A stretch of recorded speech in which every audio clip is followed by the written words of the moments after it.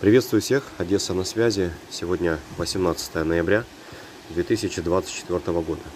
У нас в 11.13 объявили воздушную тревогу. На данный момент время 11.52. Обстановка пока что спокойная, но стабильно напряженная. В связи с тем, что летает разведдрон, изначально улетел в направлении Затоки, вот, а сейчас, я так понимаю, плавно смещается с Затоки на Черноморск и пишут, что сейчас идет на Одессу.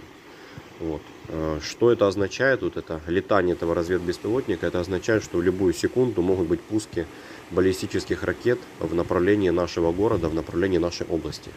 Вот. То есть там, где летает вот этот беспилотник, там и присутствует угроза нанесения ракетного удара. Кто смотрел мое предыдущее видео, я говорил о том, что у нас практически каждый день не ракетами, так шахедами, не шахедами, так ракетами. В отличие от западных областей, да? Вот. Получается, нас только вчера атаковали ракетами, оставили нас без света уже больше суток, у нас нет света, разбомбили подстанции. Сейчас опять снова летает разведбеспилотник для того, чтобы нанести очередной ракетный удар. Вот. Обстановочка тревожная, обстановка напряженная. Советую всем находиться поближе к безопасным местам. Потому что в любой момент могут быть пуски. Тревога уже объявлена, она продолжается, отбоя не было. Вот, соответственно, пока этот беспилотник не собьют, угроза будет присутствовать. Я на связи, будет обновляться информация, буду сообщать. Всем мирного неба, до встречи, пока.